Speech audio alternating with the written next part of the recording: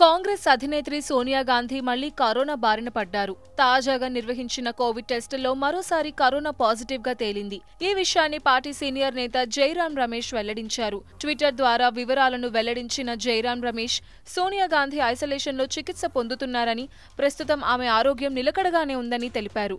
కాగా కాంగ్రెస్ అధినేత్రి సోనియా గాంధీ గత జూన్ నెలలో కూడా కరోనా బారిన పడ్డారు. దాంతో ఆమె ఆసుపత్రిలో చేరి చికిత్స పొందారు. కొద్ది రోజులకు కోలుకున్న ఆమె నేషనల్ హెరాల్డ్ కేసులో ఎన్ఫోర్స్మెంట్ డైరెక్టరేట్ అధికారుల విచారణకు హాజరయ్యారు. ఈ కేసులో కీలక వివరాలను అధికారులకు చెప్పినట్లు తెలుస్తోంది. కాగా తాజాగా మరోసారి ఆమె కరోనా బారిన పడటంతో కాంగ్రెస్ శ్రేణుల్లో ఆందోళన నెలకొంది. ఇప్పటికే అనారోగ్య సమస్యలతో ఇబ్బంది పడుతున్న సోనియా గాంధీకి మరోసారి కరోనా పాజిటివ్ రావడంతో టెన్షన్కు గురవుతున్నారు పార్టీ శ్రేణులు. సోనియా గాంధీ త్వరగా కోలుకోవాలని ప్రార్థిస్తున్నారు.